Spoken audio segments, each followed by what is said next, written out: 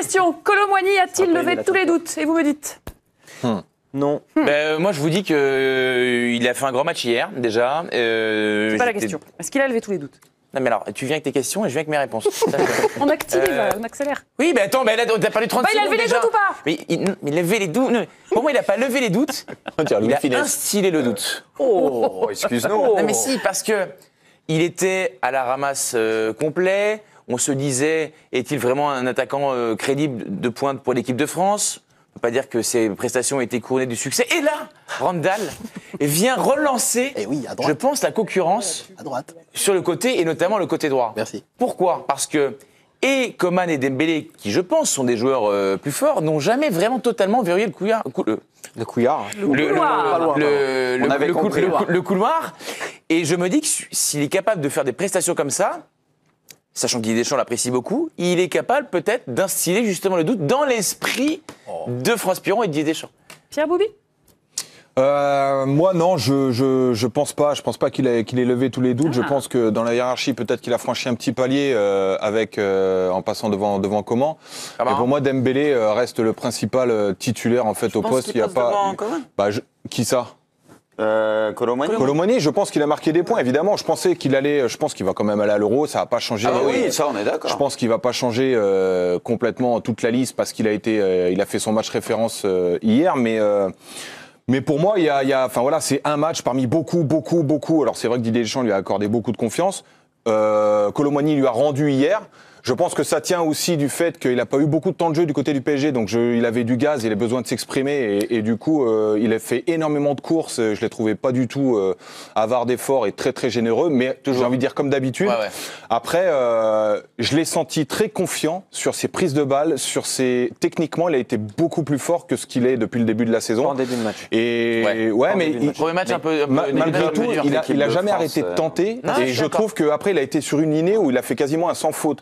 Donc, euh, remettre euh, Colomwani ici, alors qu'en fait, il était très bas. euh, au début, pour moi, c'est très précipité. J'attends de voir si ce match-là peut être un déclic sur la fin de la saison. Pour moi, il y a pas, il y a encore des, des petits doutes quand Il même à fait lever. partie des trois joueurs qui avaient envie de jouer au foot hier, quoi. Donc euh, forcément, Avec devant- Théo Hernandez et avec Youssouf Fofana. Euh, voilà, ici, donc forcément, ça détonne devant la télé. Le seul doute qu'il a pour moi, il a levé, c'est que peut-être que sa place à l'Euro pouvait être un petit peu, voilà, on peut y avoir un doute là-dessus. Peut-être. Mais là, Non, au moins, non, sur l'attaque, j'ai brillé sur ce match-là. C'est le dernier match avant la liste. Voilà, voilà, Didier, je suis là, je suis présent. J'ai trouvé très pertinent, moi, hier dans le jeu euh, lyonnais, euh, lyonnais de l'équipe de France. Et euh, ce qui est intéressant, c'est que peut-être aussi au Paris Saint-Germain, il peut avoir une vraie carte à jouer à droite. Avec la blessure de, euh, de Barcola, il a peut-être instillé le doute aussi dans la tête de, de Luis Enrique. Donc pour tout le monde, il a assuré sa place à l'Euro, Ouais. voire il l'avait déjà. Ouais, il l'avait Quelle déjà. place? Titulaire ou remplaçant? Titulaire, non, je suis pas sûr. Moi, je suis assez d'accord avec Pierre quand même. C'est très culture de l'instant que de dire après un match, ça y est, euh, c'est incroyable, etc. Oui, il a fait un très bon match, c'est bien pour la confiance et, et on l'a vu dans son jeu quand il est comme ça, même techniquement, il n'hésite pas à provoquer les diffs qu'il fait sur le but de Giroud et même d'autres fois, c'est assez incroyable. Il a pesé énormément. On sait qu'il peut être très complet. La dernière passe, moi, que Ouais. des fois il fait le mauvais choix, soit de pied, soit de Oui. surface, et même de- dans les choix de passe, c'est juste là où hier, hier, il quand même, il- être un peu plus. Ouais, mais il s'est beaucoup dépensé et du coup, tu peux, tu vois, parfois le pardonner un peu sur, sur le déchet. Mais hier, très très bon. Et la question à se poser, on le sait, c'est pas un pur neuf. On sait qu'il peut jouer côté, il aime avoir de la liberté. Quand tu as un Giroud en pointe aussi, bah, ça sert à tout le monde. Ça sert à Mbappé. Bon, ça s'est pas trop vu euh, sur le dernier match, mais ça peut servir aux autres parce que tu as un point de fixation, il peut jouer en remise, etc. Et ça profite à un, à un profil comme Colomani qui est ultra complet. Donc, euh, bien sûr qu'il sera à l'Euro. Après, Coman, etc. Bon, Dembélé, je pense que. Deschamps l'aime beaucoup. Moi, personnellement, je miserais beaucoup sur Coman. Moi, c'est. Dans la hiérarchie, sur le dernier rassemblement, des, euh, Coman était repassé devant Dembélé. hein. Ouais, mais. Là, il n'est tout pas cas- là quand même parce qu'il est blessé. En tout mais- cas, moi, quand Coman est en bonne santé, c'est celui qui affiche le fort. plus de garanties, etc.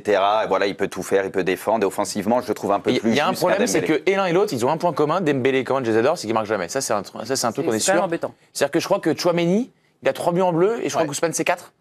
Ah. Ah, mais c'est. c'est- c'est- En bleu, ouais. Possible. Après, Ah, Coman, avec le. Bayern, il a mis quelques buts importants. Oui, des buts importants, on est d'accord. Mais moi, je trouve qu'ils marquent, ils font passer, font passer cette stat d'une manière générale. Après, c'est dur quand Mbappé d'avoir la Oui, lumière oui. pour les autres attaquants. En tout cas, la, prestation de, de Randall Colomwani, elle a été validée aussi par ses coéquipiers. Ibrahima Konaté, en, en zone mixte, s'est exprimé sur, sur le sujet. Avec les qualités qu'il a, c'est pas quelque chose qui m'a surpris, sa, sa prestation. C'est vrai qu'il a eu un début de saison assez difficile avec le PSG, mais là, je pense qu'il a montré à tout le monde les qualités qu'il avait. J'espère que ça va lui donner de la confiance supplémentaire. J'espère qu'il va, excusez-moi du terme, tout arraché avec le PSG. Ça va. Bertrand, est-ce que tu penses vraiment que ça peut lui servir de déclic pour cette fin de saison à Randall Colomwani? Mais Après, ça, c'est- ça appartient à Luis Enrique, mais Il va jouer au Classico?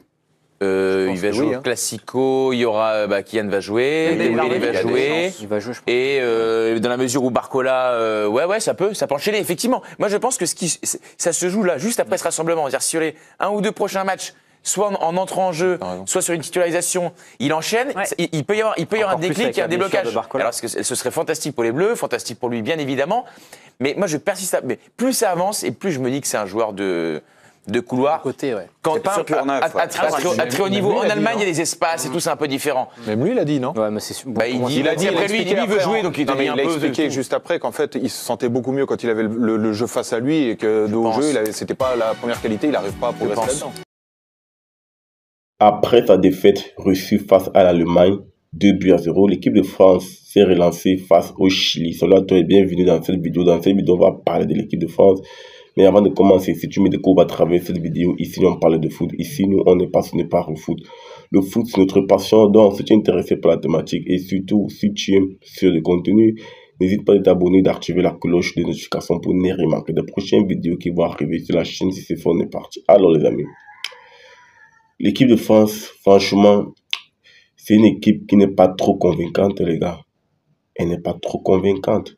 Puisque lorsque moi je regarde ce match face au Chili, ça passe vraiment de très très peu. Ça passe de très très peu, les amis. Donc, euh, tu as une équipe de France qui a encaissé très tôt à la sixième minute. Ensuite, Fofana et euh, Rondo Colomani, ils ont donné l'avantage à l'équipe de France. Giroud creuse l'écart et ensuite le Chili revient à 3 buts à 2. Le Chili aurait même pu revenir à 3 buts partout. Donc, euh, l'équipe de France, franchement, ce n'est pas si rassurant que ça. hein. Il y a vraiment des lacunes, notamment défensivement. Défensivement, on a vu que Deschamps est parti sur une charnière, une charnière un peu, un peu inédite, puisque Saliba joue très peu. Saliba joue très peu avec l'équipe de France. Donc, il est parti sur Saliba et Ibrahima Konaté charnière centrale. Je rappelle ici que le match précédent face à la National Mannschaft, c'était Pavard et Upamecano qui jouaient en charnière centrale. Donc, pour ce match face au Chili, Deschamps a décidé de remanier son effectif. Il a préféré mettre Saliba et Ibrahima Konaté en charnière centrale. Il a mis Jonathan Klaus, qui était blessé, qui est sorti sur blessure, remplacé par Jules Koundé. Euh, tu avais du Théo Nandes. Ensuite, au milieu, il a également remanié. Euh, il a mis Zayn sur le banc. Il a préféré euh, Fofana. Il a fait un très bon match, hein, Fofana. Ensuite, Chouameni il n'a pas fait vraiment un top match. Kamavinga non plus. Bref, euh, la personne qui a marqué des points là, c'est Colomani. Rondol Colomani, les amis. Franchement, lorsqu'il joue à son poste et surtout lorsqu'il joue dans son système préférentiel, c'est-à-dire les contres, il est plus efficace. C'est un joueur qui est à l'aise sur un côté et c'est un joueur qui aime jouer en contre. Lorsque vous jouez en contre, c'est sa qualité première. C'est sa qualité première. C'est un jeu qui aime les espaces. C'est un jeu qui aime dévorer les espaces. Donc, euh, en pointe, tu avais Giroud. Giroud, il a préféré Giroud à Marcus Thuram. Kylian Mbappé, évidemment, on ne l'a pas bougé. Il a fait tout le match. Il faut aussi retenir que Maï Maignan faisait son retour dans les buts hein, à la place de Brice Samba. Donc, globalement, on a vu une équipe de France qui n'a pas vraiment euh, été rassurante défensivement. Ils ont concédé 9 tirs. hein. 9 tirs, les amis, c'est beaucoup. C'est beaucoup, 9 tirs. Donc, moi, je pense que c'est un chantier que Deschamps doit travailler. Mais le petit bémol, c'est qu'il n'y a plus beaucoup de matchs avant l'Euro. Il n'y a plus beaucoup de matchs. Donc, euh, l'équipe de France risque d'arriver à l'Euro avec euh, des incertitudes. Des incertitudes défensivement et même au milieu. Parce qu'on a vu sans Griezmann, il n'y avait pas de lien. Il n'y a pas ce lien qui va connecter le milieu et l'attaque. Sans Griezmann. Donc, euh, il doit aussi travailler sur le milieu. Mais le gros chantier pour moi, c'est la défense. C'est la défense pour moi le gros chantier. Ça concède beaucoup d'occasions et ça concède beaucoup de buts. En deux matchs, ils ont pris quatre buts. hein. En deux matchs, ils ont pris quatre buts. Ce n'était plus jamais arrivé depuis au moins deux ans. Depuis trois ans même. Depuis l'Euro 2021. Depuis l'Euro. Ce n'était plus jamais arrivé. Prendre quatre buts en deux matchs. Donc, euh, ça prouve à quel point cette équipe de France concède beaucoup d'occasions. C'est une équipe qui est friable défensivement.